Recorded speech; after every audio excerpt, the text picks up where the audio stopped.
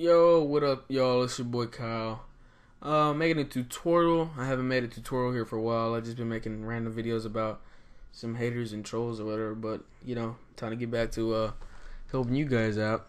Today, I'm gonna provide you guys with an extension spoofer. Uh, it's kind of hard for me to say because it's kind of a tongue twister. Extension spoofer.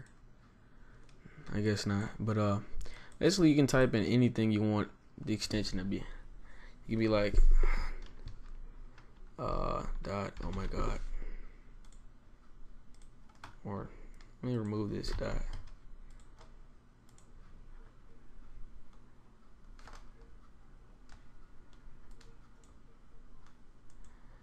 Alright, let me start fresh. Hold up.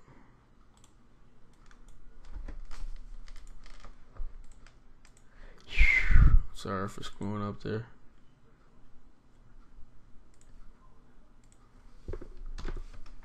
Forgot you have to add the period. Alright. kg.omg.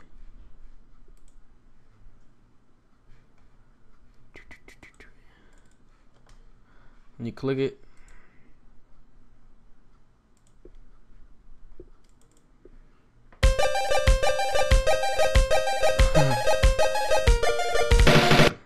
Alright, that's just an mbam keygen or whatever, but yeah, when you click it, it'll open up as normally how it would. So it's not a virus. You can go scan it, whatever VirusTotal it. It doesn't matter. Uh, please leave the video a like. Um, be releasing more little tools and programs for you guys to use in the future. So I'm out. Peace.